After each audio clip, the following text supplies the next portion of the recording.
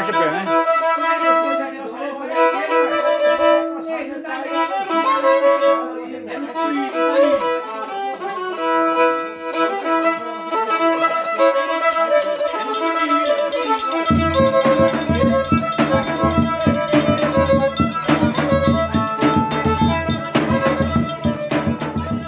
Hoje, Monteiro TV Reportagens veio até a zona rural de Monteiro, mais precisamente no sítio Riacho do Meio, para conferir e prestigiar uma pega de boi, os bastidores desse evento da cultura nordestina e tudo que rola nessa participação dos vaqueiros em busca do gado dentro dos matos. Monteiro TV Reportagens para mais uma reportagem para vocês na apresentação de Arthur Vilar. Então vamos lá conhecer a pega de boi, a cultura nordestina do homem do campo.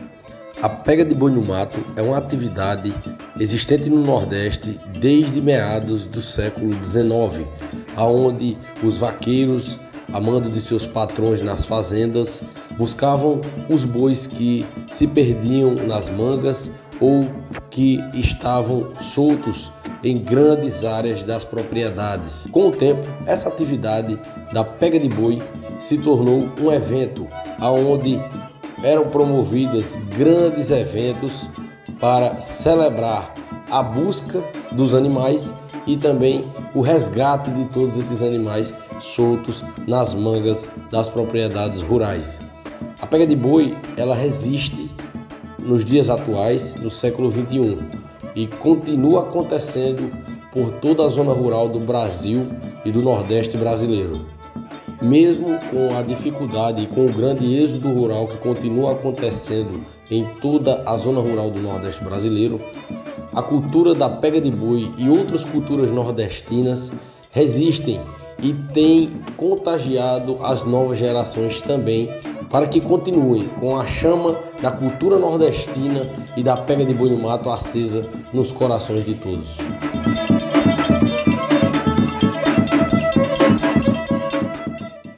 Estamos aqui com o Ricardo Oliveira, ele é o organizador dessa pega de boi que está sendo realizada hoje no sítio Riacho do Meio, na zona rural de Monteiro.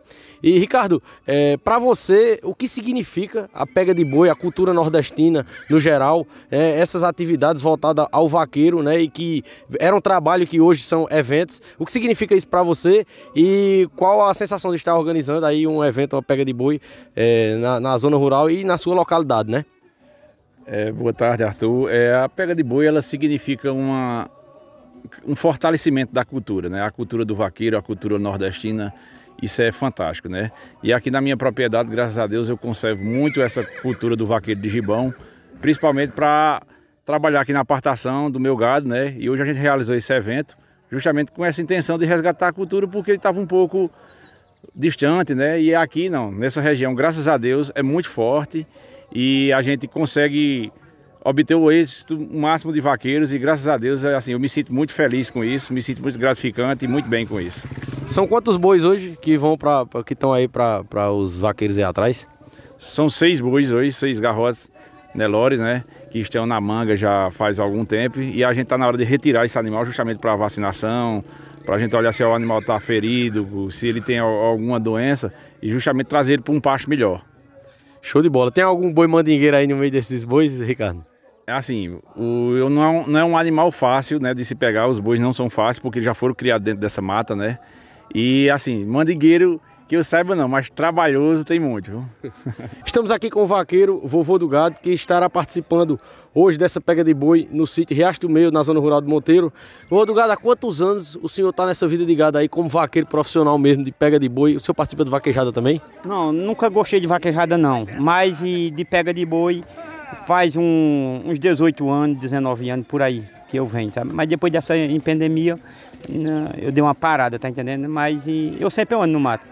E eu gosto, entendeu? É. O senhor, é, é, quando as pessoas dizem, né, quem, quem, quem participa de pega de boi, o cabo tem que ser doido, tem que ser muito corajoso, né? É. O que, o, o, qual a explicação que o senhor dá, assim, o que move o senhor para gostar da pega de boi e ter coragem de ir atrás do boi no mato? O homem que corre um boi hoje, ele tem muita coragem. Agora, vaquejada, qualquer um menino corre num, num calo pronto, todo mundo corre. Agora, para pegar um boi no mato, só pega quem tem coragem. Muito obrigado. todo mundo não, meu filho. Show de bola, boa sorte aí, viu? Obrigado, velho. Estamos aqui com o vaqueiro Paulinho, que também está participando dessa pega de boi aqui no sítio Riacho do Meio, na zona rural de Monteiro. E, Paulinho, Para você, é, é, qual o sentimento que te move, é, é, que te faz ter a coragem né, de, de, de, gostar dessa cultura e de correr atrás do boi no mato? Rapaz, é, é um, é um dom que você traz de família, né? Guarda de família aí. O pai gostava, o irmão gostava, né? Você nasce naquela cultura ali, fica um instinto de vaqueiro ali, né? Bom não, mais ou menos para brincar mal, mal os outros, né?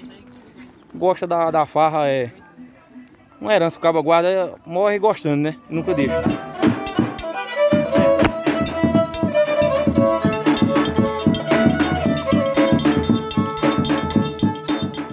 Estamos aqui com Maria Eduarda, filha de vaqueiro e que gosta de vaquejada, de pega de boi, da cultura do Nordeste. Maria Eduarda, por que você gosta? Porque é um esporte bom. E a gente, quando pega, ganha muita premiação, né? Você tem quantos anos? 13. Você já, já corre já? Já. Era essa de esteira, né, na vaquejada? É. Muito bem, aí o futuro né, da cultura nordestina para que a cultura não morra, para que ela fique viva e sempre se renove. Obrigado pela sua participação, viu, Maria Eduarda? Estamos aqui com o River Douglas, ele que é um entusiasta da cultura, né, músico, é, é, é um cara que é, valoriza né, a cultura nordestina e as raízes do Nordeste. Douglas, é, é, com relação à pega de boi, para você, assim, o que significa e o que significa também é, continuar resgatando essa cultura e fortalecendo ela, né, para que não morra. Acho que a, a, o próprio a indumentária, né, o próprio homem da caatinga, ele ele é esse essa representatividade né, de, for, de força, de, de luta, de ser aguerrido. E eu acho que o, o vaqueiro é nosso homem medieval, né? O nosso homem armado. E é uma cultura que, na verdade, foi a cultura que fez nascer esse, esse mundo chamado Nordeste, né? E o vaqueiro, ele representa tudo isso que é esse, esse sinônimo de força, de luta, de persistência, de, de vida, é, de suor e de aboio, de poesia. Então, a mito, o mito do vaqueiro é muito... É, nos traz um universo muito profundo sobre, sobre a própria... É, próprio, a própria forma de ser do homem, o homem nordestino, né? E, e as pega de eu já corri pega de boi também, né? Eu, eu também corro, mas eu parei um tempo porque pega de entrar no mato sempre é você sair um pouco todo rasgado. Então, é, ficava às vezes Douglas, tu vai esse final de semana para eu vou não, porque para semana eu vou tocar. E se eu for para pegar do boi, eu sei que eu não vou sair. Com a cara do jeito que eu tô aqui, bonitinho, vai ter que, vai ter que sair. Então, é, é um, um esporte, além de tudo, é, de certa forma, bastante, dizer violento, mas é um esporte arriscado, muito arriscado, né? Mas é um esporte que mantém a tradição e mantém ainda hoje vivo e vai se manter mesmo, porque é a cultura muito presente no Nordeste da gente. Show de bola. Muito obrigado pela participação, Douglas.